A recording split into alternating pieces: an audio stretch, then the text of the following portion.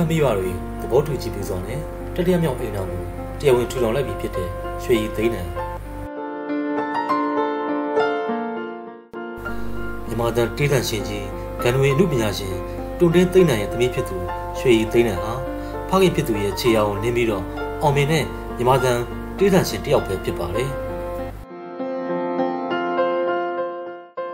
ရွှေရည်သိန်းနံဟာသူမရဲ့ပထမအိမ်တော်ဖြစ်တဲ့တေးမြန်မာသားရှန်ထွန်းနဲ့ ကွာရှင်းခဲ့ပြီးတဲ့နောက်မှာတော့ဒုတိယအိမ်တော်ကိုနီလာဆိုရင်လည်းပြီးခဲ့တဲ့ဇူလိုင်လကပဲကွယ်လွန်သွားခဲ့တာပဲဖြစ်ပါတယ်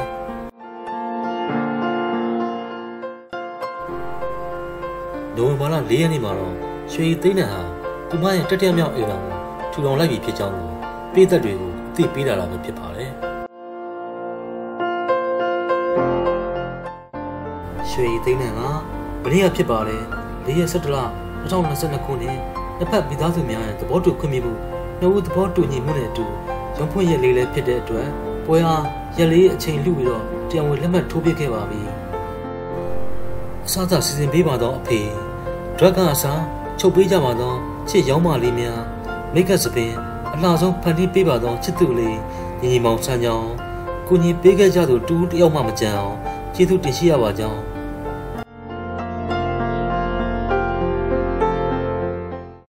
ဆက်လက်ပြီးတော့လည်းရွှေသိန်းနံကကျမရဲ့ဘဝဒဏ်ရာတွေကိုအေဂျင့်သောမြတ်တာများနဲ့လုံခြုံစေသောသူမှုအာကိုတကြီးနဲ့ခိုဝင်မိသောရင်ဝင်တစ်ခုကိုအစသာယုံကြည်ရင်သစ္စာရှိသောကျင်နာတတ်သောသတိကောင်းတစ်ယောက်အဖြစ်အမြဲအနာရှိနေပေးပါမယ်လို့ကတိပေးပါလေချစ်ခင်မိုးရေပွဲရဆက်နေလို့ဟန်နီမွန်းအကျွေးမှတ်ထားမယ်ဆိုပြီးတော့သူမရဲ့ Facebook စာမျက်နှာမှာအခုလိုပဲရေးသားဖော်ပြထားပါတယ် ပြည်သက်တွေရဲ့အချစ်တော်ညီမတန်တေးတန်ရှင်ရွှေသိန်းနံကတော့သူမရဲ့ချစ်သူနဲ့နိုဝင်ဘာလ၄ရက်နေ့မှာတရားဝင်ရုပ်တက်လက်မှတ်ထိုးခဲ့ပြီပဲဖြစ်ပါတယ်။ပြည်သက်ကြီးကလည်းရွှေသိန်းနံအတွက်ဝန်တာကိုယ်မနေမှာပဲဖြစ်ပါတယ်။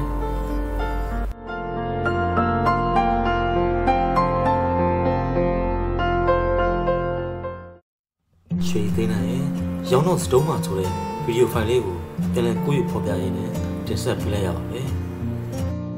အားလုံးကိုကျေးဇူးတင်ပါတယ်အားလုံးပဲဘေးရန်ကင်းကွာ၍ကိုစိတ်နှပြကျန်းမာရှင်လန်းပြီးတော့ချမ်းမြေ့ကြပါစေ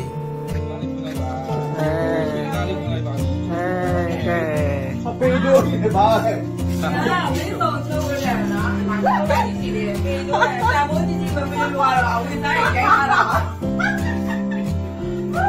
ကဲရော။မမငယ်တို့ကပြောရတယ်ဘယ်ကပေးလို့ရတယ်။ မပေါ်ဘူးပြီးလိုက်ဒီမှာဒီမှာတယောက်ရှိနေတာခလေးကိုကဲဒီမရဟိုမရပါပါသေးဘာလဲလာပဲတိုးတက်ပါသေးအဲအဲပေါ်မှာတစောတော်ရရှိသေးတယ်ပေါ်မှာတော်ပေါ်မှာတော်ရရှိသေးတယ်ပေါ်မှာတော်ရရှိသေးတယ်ပေါ်မှာတော်ရရှိသေးတယ် ညာစီကြည့်တော့တော့ပါကြည့်ရတယ်နော်။